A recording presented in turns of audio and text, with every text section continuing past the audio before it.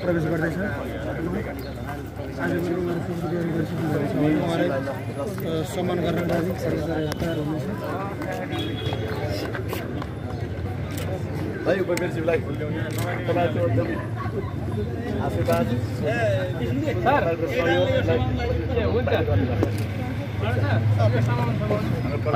एकदमै हाम्रो गठबन्धनलाई एकदमै सहयोग गरिराख्नु भएको छ गठबन्धनतर्फका मेयरका प्रत्याशी किशोर राई निर्वाचित उपमेयरका साथमा उहाँ आउँदै हुनुहुन्छ र तपाईँहरू देख्न सक्नुहुन्छ यहाँ नगरपालिका कर्मचारी तथा जनसेवा गर्ने महानुभावहरूले चाहिँ उहाँलाई स्वागत गरिराख्नु भएको छ र यस स्वागत कार्यक्रममा अन्य दलका दलीय प्रतिनिधिहरू पनि सहभागी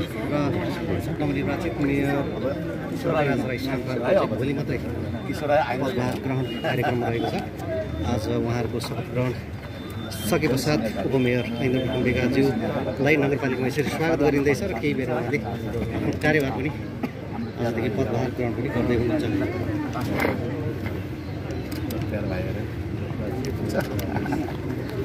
दोस्त के छ यार दोस्त रमेशजी ठिक छ छ होइन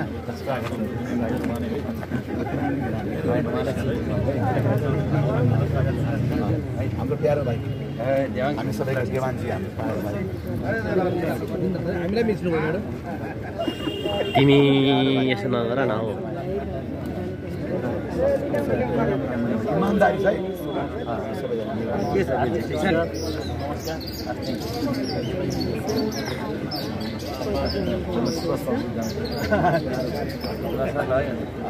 मेरो दाजु नमस्कार थियो दाजु हजुर दाजु गणेश बाबु के छ यार ठिक छ होइन एकदम एकदम सबै ठिक छ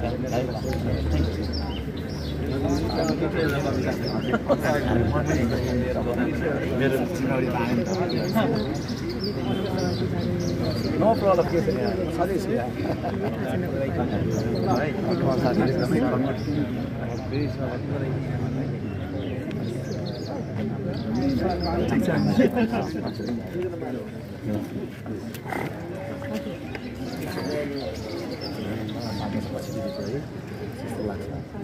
दिदी के छ यहाँ ठिक छ नो प्रब्लम के छ यहाँ साथी आऊ बम्स के छ बम्स ठिक छ नमस्ते मेरो भाइ नमस्ते नमस्ते चेलीहरू ठिक छ उहाँहरूको साथ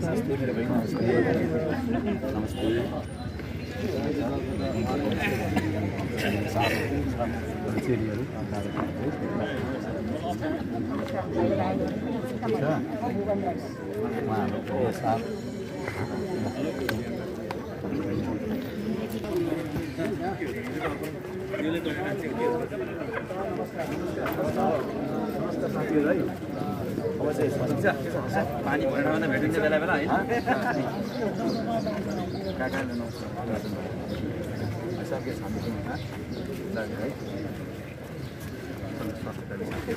ठिक छ?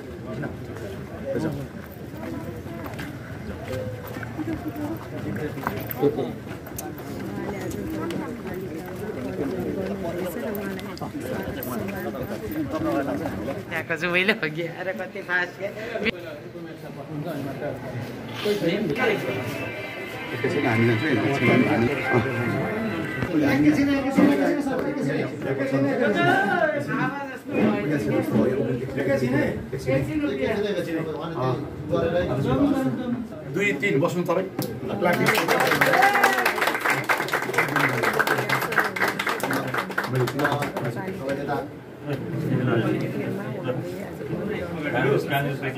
समर्थन राम्रो काम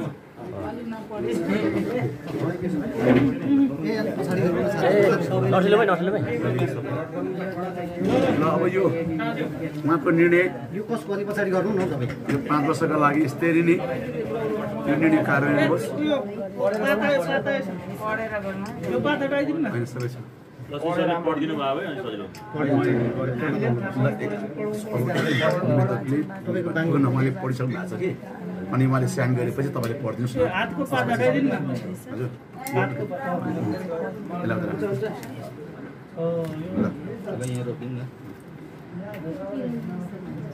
यो रोक्यो पाल्ला है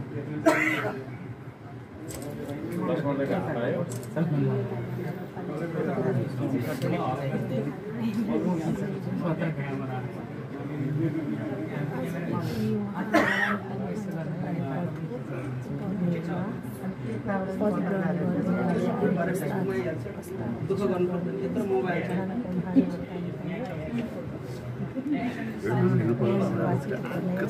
ठिक छ छोटो लेख्ने सानो गरेर अगाडि बढाइदियो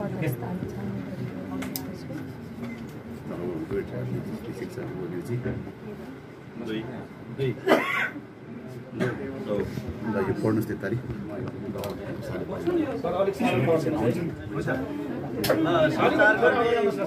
सञ्चारकर्मी मित्रहरू अ, उपस्थित सम्पूर्ण राजनीतिक दलका प्रतिनिधि एवं आदरणीय नेतागणहरू धरान उपमहानगरपालिकाबाट नगरपालिकामा नवनिर्वाचित उपप्रमुखज्यूले भर्खरै आफ्नो पद बहाली गरिसक्नु भएको छ।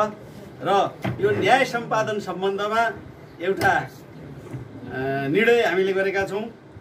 विषय न्याय सम्पादन सम्बन्धमा प्रस्तुत विषयमा नेपालको संविधानको धारा दुई सय सत्र बमोजिम गठित न्यायिक समितिको क्षेत्राधिकारभित्र रही न्यायमा स्वच्छता पारदर्शिता र सबैको समान पहुँच स्थापित गर्दै स्थानीय सरकार सञ्चालन ऐन दुई हजार चौहत्तरको दफा सत्तालिस एक बमोजिमका बालबालिका वृद्ध महिला तथा अपाङ्गता भएका व्यक्तिहरूको हेरचाह पालन पोषण शिक्षा दीक्षा स्वास्थ्य उपचार सम्बन्धी निवेदन उप प्रचलित कानुन तथा न्याय सम्पादन कार्यविधि ऐन दुई हजार पचहत्तरको अधीनमा रही।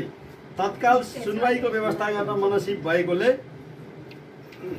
असहाय अशक्त महिला तथा बालबालिका र अपाङ्ग वर्गको लागि शीघ्र इजालत सञ्चालन गरी द्रुत न्याय सेवा दिन मनासिब देखिएकोले निवेदकले निवेदन दिने बित्तिकै विपक्षीलाई झिकाई छलफलमा पेश गर्ने निर्णय हाम्रो उपप्रमुखज्यूबाट भर्खरै सम्पन्न भएको छ। यही जानकारी गराउन चाहन्छु। धन्यवाद।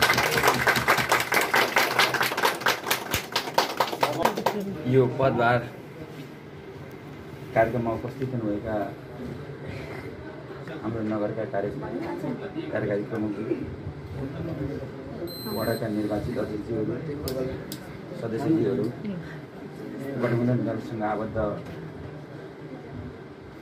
नेताज्यूहरू प्रदेशका माननीयज्यूहरू यस्तै गरी यो पदभार कार्यक्रममा सहभागी हुनुभएका सम्पूर्ण पत्रकार मित्रहरू सम्पूर्णमा एकमुष्टमा नमस्कार अभिवादन टेक्न चाहन्छु। आज यो ऐतिहासिक महत्त्वपूर्ण दिन।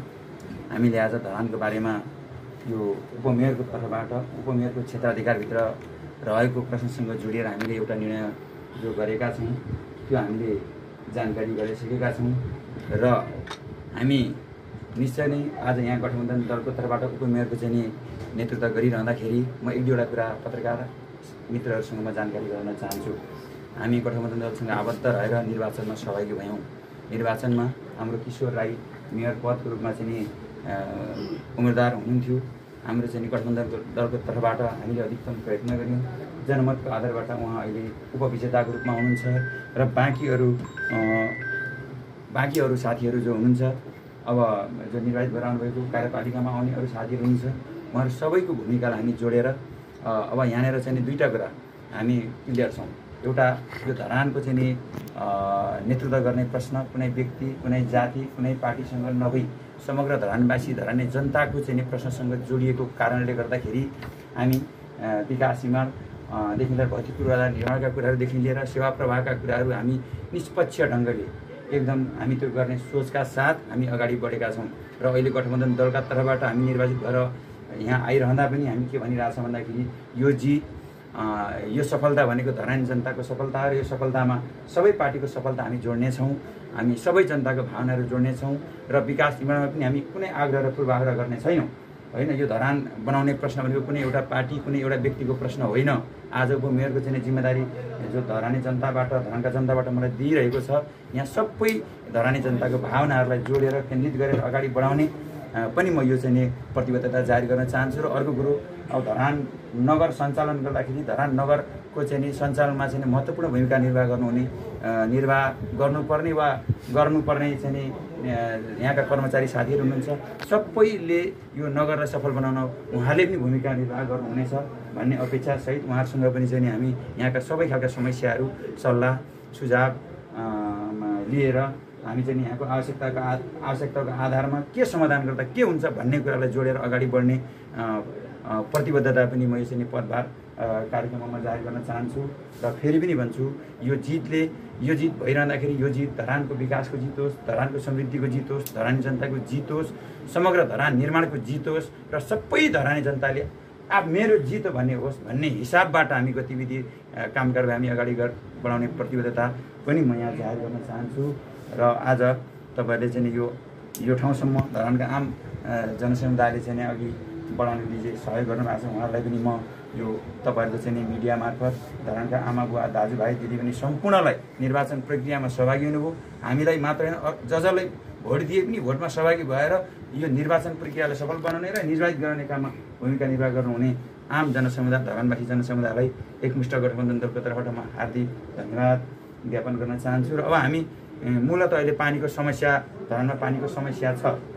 यो पानीको समस्याको बारेमा थुप्रै प्रश्नहरू उठेका छन् थुप्रै सजिला र अप्ठ्याराहरू चाहिँ हुने गरेका छन्। एउटा कुरा म के जानकारी गर्न चाहन्छु भन्दाखेरि यो बजेट सङ्घीय सरकारको बजेट निर्माणको प्रक्रिया अलि भन्दा अलि अगाडि निर्वाचन भएर अलि पाँच सात दिन समय भएको थियो भने हामी अरू धेरै बजेटहरू अर्थमन्त्रीज्यू मान्य अर्थमन्त्रीज्यूसँग समन्वय गरेर बजेट ल्याउने सोच पनि कसिएको थियो। यस्तो सङ्कटमा पऱ्यो कि अब अब चाहिँ यहाँदेखि थप अरू हामीले चाहेर पनि सायद कार्यकारी सबै थाहा छ। आजदेखि उपरान्त हामी एउटा बजेट शीर्षक पनि थप्न नसक्ने स्थिति छ। यद्यपि अब पानीको समस्या मुख्य समस्या भएकोले गर्दाखेरि यो सर्दु र खर्दु बिचमा खानेपानीको चाहिँ एउटा समस्या गर्ने चेक ड्याम निर्माण गर्नको निम्ति करिब पन्ध्र यहाँ आउनु भएको छैन? करिब पन्ध्र करोड बराबरको चाहिँ लागत इस्टिमेटको एउटा चेक ड्यामको परिकल्पना गरिएको छ। यो अगाडि दिन चल्दै आएको हो। यसलाई जोडेर लैजाने भनेर अलिकति सामान्य त सल्लाह भएको छ। हामी यो भएको पानीको संरचनालाई व्यवस्थित गर्ने थप स्रोतहरू व्यवस्थापन गर्ने र धरानी जनतालाई खानेपानी ए, चाहिँ नि उपलब्ध गराउने अभियानमा सरिक हुनेछौँ। अब अहिले हामी योभन्दा धेरै अरू अरू काल्पनिक सपना बाँडेर हामी जाँदैनौँ। यथार्थमा आधारित रहेर धरानी जनतालाई धरानका आम जनसन्तालाई पानी खुवाउने हामी चाहिँ नि कार्यभार हामी पुरा गर्ने। म यो चाहिँ नि पदभार गर्न कार्यक्रममा चाहिँ नि म प्रतिबद्धता जाहेर गर्न चाहन्छु। हस् धन्यवाद।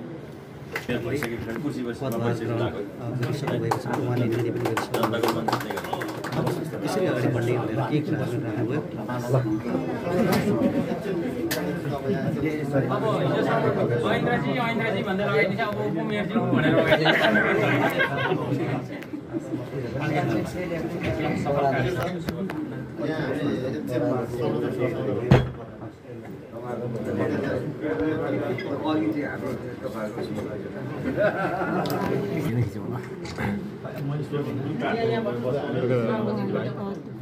सञ्जय